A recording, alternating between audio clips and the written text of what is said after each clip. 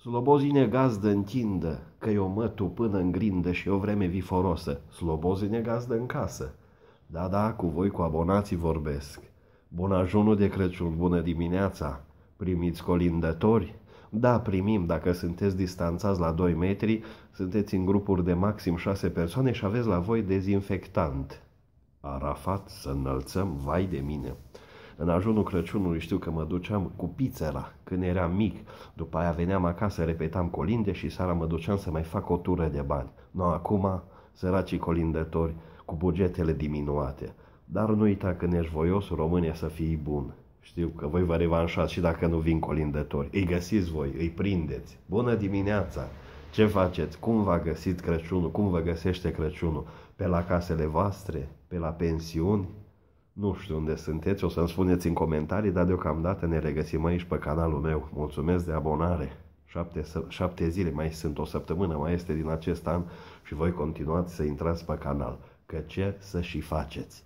O cafea bună de la prietenii mei care o dau acolo frumos pe buymeacoffee.com slash Mulțumesc! Trebuie un pic, trebuie un pic. Afară ninge liniștit. Numai zvon de colinde am în cap. Afară ninge liniștit. De unde? Că 6 grade și plouă. Și o chină și zici că vin floriile. Nu vine Crăciunul. Tăte s-au dat peste cap în acest an, da? Ne descurcăm. Deschide ușa creștine. Continuați voi. Deschide ușa creștine. Că pe la noi guvidul nu vine. Trebuie să adaptăm și colindele la realitățile românești. Ați făcut brăduți? Și că unii români și-au împodobit bradul din noiembrie, bă, că nu mai avem răbdare. Din cauza acestei pandemii am zis să avem ceva frumos din casă. Așa e, faci bradul până noiembrie și îl mai dai jos colo pe martie când urmează să vină iepurașul. Nu contează că te mai împiedeci, nu contează că îi cad acele pe jos, acele, acele. Dar acum, ci că la mare modă brazii sunt pe coronițele dentare. Știți că mă spun domnișoarele, coronițe dentare să li se îndreptă dinții ca să fie faxi. Da? Brăduți și steluțe pe... Și ce-ți mai trebuie atunci brad în casă când tu ai brad în gură? Mâncărica ai gata? Sărmăluțele, parcă le aud bolbolosind acolo pe sobă sau un cuptor, depinde unde le faceți, dacă nu comandați de la catering. Până catering poți să cumperi orice, de la platouri până la sarmare, de la băuturi până la servicii de curățenie, servicii de ajuta nevasta, de tratat psihologic sacra. Nu-i mai o problemă. Să fie sărbătoare. Totul în regulă. Cadouri, că trebuie să fie ceva cadouri sub brad. Acum dacă bradul ți pe premolar aici, nu știu ce cadou poți să bagi sub brad, dar nu vă dau idei că încă i poți și cine știe ce o sarma poți să bagi sub brad. Electrocaznicele, din ce am citit, electronicele și electrocaznicele sunt printre, bine, și un parfum merge și o pereche de mănuși, dar electronicele astea de ultima generație sunt printre favoritele românilor în ceea ce privește cadourile de pus sub brad. Bă, ce să zicem, mai trebuie un telefon, mai trebuie un router, mai trebuie o tastatură, un mouse, ca așa putem și noi vorbi. Că altfel, dacă nu avem toate condițiile, degeaba, că nu se vede, nu se aude. Uh, am înțeles că cei de la LG au scos în sfârșit mult lăudatul televizor pliabil. Măi, televizor pliabil, de la de-al faci sus și E o chestie grozavă. Nu mai pui tu dita mai televizorul, dita mai plasma, că plasma, cât e ea de plasmă și pe ea să adună praf. Pui tele, aplici pe perete. Zici, nu mai pui carpetă cu răpirea din serai, nu mai pui păretare de alea țesute cu păunașul codrilor, spunem de cine mi-e dor, LG televizorul carpetă, mă, rulabil, pliabil, vă dați seama, nu costă mult, 75.000 de euro. 75.000 de euro pe banii ăștia nu-ți ajung nici de o garsonieră în mănăștură în Cluj. Deci mai bine ții un televizor de asta. Avantajul care îi, că dacă postul la care te uiți are pureci, poți să-l pui pe bătător și să-l bați ca pe covor. Că e pliabil, televizor pliabil. Dacă te-ai certat cu gagica, dacă te-ai certat cu iubita, îți iei investiția, respectiv televizorul. Îl rulezi, îl pui la subsoare, no, servus, nu o fost să fie, nu o fost să fie. Steaua sus răsare, ziceți voi. Știți cum cântă Mario Rocker, marele vedete ale muzicii, cântă primele trei rânduri, trei eh, cuvinte dintr-o strofă și după aia, acum voi, vorba lui Miculescu, steaua sus răsare, ne pregătim de vaccinare, cine are, are, Vaccinat a fost și Câțu.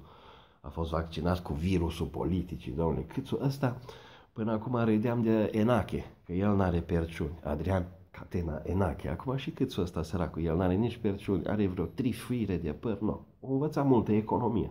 Cafea de pe Buy Me a Coffee. Și nu uita când ești voios române să fii bun. Donează o cafea la Nicu Bendea, că n-a stricat. 260 de voturi pentru, 100 și nu știu cât împotrivă, dar totuși a ieșit, a rămas premier. Propunerea mea de premier, vorba lui Claus Iohannis, a fost fluierat în plen. Mi-a plăcut că totuși se vede deja o alianță la opoziție, da? PSD-ul și cu aurul s-au întrecut în fluierătul Uou, câțu, șocâtele, Săracul câțu încercă el să vorbească așa ca Dinescu. Dinescu, doamne, Dinică. Cadinescu, cam greu să vorbești. Așa, un fel de dinică neterminată, cât sunt vorbe. Vă, vă temeți de un câțu? O să vă arate o economie, o să vă fie... Vorbește săracul rău, nu? Nu se uită la om așa. Vrea să facă și el pădurul, mă, da? Păi, duru, duru, spală bine aurul. Deci că un deputat sau un senator de la aur e un artist plastic sau ceva, mai în vârstă el, săracul, două ore ieri pe culoarele Parlamentului, când sus, când jos, nu-și găsea săracul comisia din care face parte. Două ore, no, păi, deja omul ăla a lucrat ceva. Decât să huiduiască 5 minute, două ore, s-o plimbat, măcar face bine la sănătate. Ei, că săracul nea Nicu Ceaușescu, ce casa poporului o tras el, de să pierd politicienii în ea. Ei să pierd, politicienii să pierd când ajung la putere, politicienii să pierd când ajung la ciolan. Dar acum să pierd și fizic, mă, în casa poporului. Dita mai senator și deputat. Păi n-au consilieri să ia de mânuță. Cam eram elev în prima zi de școală, să le fie un consilier, ca și la bobocii ăștia când vin în primele forme ale învățământului, în primele cicluri, să-i ducă pe senator. Tu stai acolo în băncuța ta, tu mergi în comisiuța ta, aici faci pipi ca cananii, aici mănânci la restaurant fără mască, că voi sunteți șmecheri, nu? Claus Iohannis uh, i-a investit pe toți. Acum nu știu ce să zic de Sorin Câmpianu. Și ăsta face pe tehnocratul pesedist în guvernul de dreapta. În fine, i-a investit Claus Iohannis pe toți și le-a spus la treabă. Avem treabă după șase ani, mai zice și el încă o dată chestia asta la treabă. Și imediat au venit auto, nu auto, microbuze. Ei parcă e un ritual după ce se pune un guvern nou, merg la președinte ăsta, da, bă, bă, și să urcă în microbuze și merg în prima ședință de guvern. Merg în pelerinaj la Palatul Victoria. 20 de miniștri și o singură doamnă. Turcan la muncă. Zice lumea că era mai bună Violeta Alexandru sau cum o chema doamna Violeta. Eu habar n-am. Dar ce că doamna Turcan acum e pusă să facă treabă. Și aseară, și aseară, dacă nu terminau colegii, ședința ea stătea până dimineață în ședință de guvern. I-au zis colegii, i-au zis uh, uh, domnul Ciucă, i-a zis, i-a zis, băi, Ralu, dragă, du-te și fă și tu cozonaci, bai gliurile, du-te și împodop, fă ceva, ești doamnă, nu se cuvine să stai în sarajunului colinda guvernului. Te duc acasă și îți vezi de treabă. De urat am mai ura, dar nicăni ori vaccina. Măi, cum se adaptează colindele la specificul momentului? Sănătate mult, o cafea bună, se primește pe buymeacoffee.com slash nicubendea. Știu că de Crăciun sunteți generoși. Tararara. Da, ajunul Crăciunului. Să vedem cum o trece. Eu vă doresc din tot sufletul sănătate, bucurii, fericire, să vă bucurați de ce aveți pe masă, de ce primiți sub brad, că știu că dacă ați fost cu minți, moșul nu vă ratează sau depinde, îngerelul, cine vine la voi. Și acum te las, fi sănătos, și vesel de Crăciun, dar nu uita, când ești voios române, să fii bun. Acum știți că tot timpul înainte de Crăciun, cu câteva zile, să fac campanii, să ajută oamenii nevoiași, dar asta e ideea, să nu uităm că cei care săraci nu săraci numai de Crăciun, îl săraci și în mai, îl săraci și de Rusalia. Așa că știm noi că avem suflete mari și suflete bune, că suntem români, să ne uităm și în jurul nostru la cei care au nevoie și să nu-i lăsăm de izbeliște. Nici acum nici în zilele că în care vor veni. Știți vorba aia că dacă nu poți să-i faci la om bine, măcar să nu-i faci rău. Asta sper și eu, că în anul ăsta nu v-am făcut multe rele, multe bocăne și mă bucur că ne regăsim pe canalul de YouTube al Unicu Bende. Mulțumesc de subscriere și de share, un Crăciun cu de toate. Crăciun fericit! Aștept să mă colindați în comentarii.